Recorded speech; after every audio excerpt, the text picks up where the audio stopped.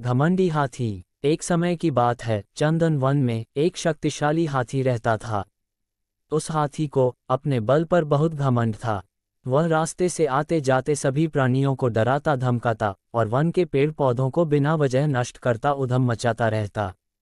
एक दिन, उस हाथी ने रोज की तरह जंगल के सभी प्राणियों को सताना शुरू किया कि तभी अचानक आकाश में बिजली चमकी और मूसलाधार बारिश होने लगी।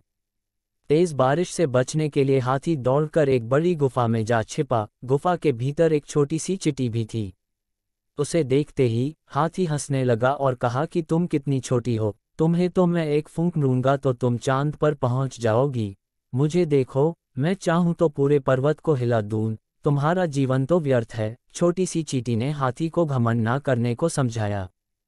पर हाथी अपनी ताकत के मद में चूर था। वह लगातार चींटी का मज़ाक उड़ाता रहा और चींटी को डराने के लिए अपना पैर पटकने लगा। हाथी ऐसा कर ही रहा था कि तभी बाहर से धड़ाम की जोरदार आवाज़ आई।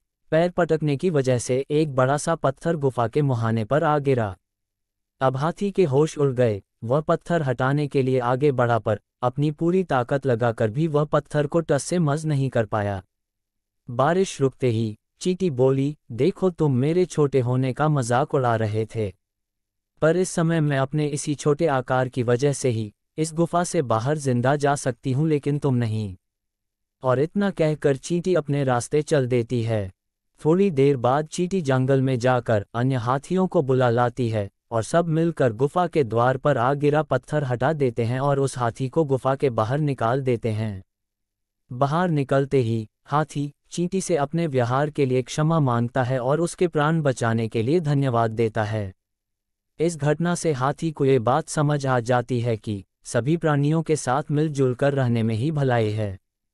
और उस दिन के बाद से वह हाथी कभी किसी प्राणी को नहीं सताता है। इस कहानी से ये सीख मिलती है कि आपको दिखे या नहीं, हर किसी में कुछ न कुछ गुण होता है। इसलिए यदि ईश्वर ने आपको कोई काबिलियत दी है तो कभी भी उस पर घमंड ना करें। हर कोई किसी न किसी रूप में काबिल होता है।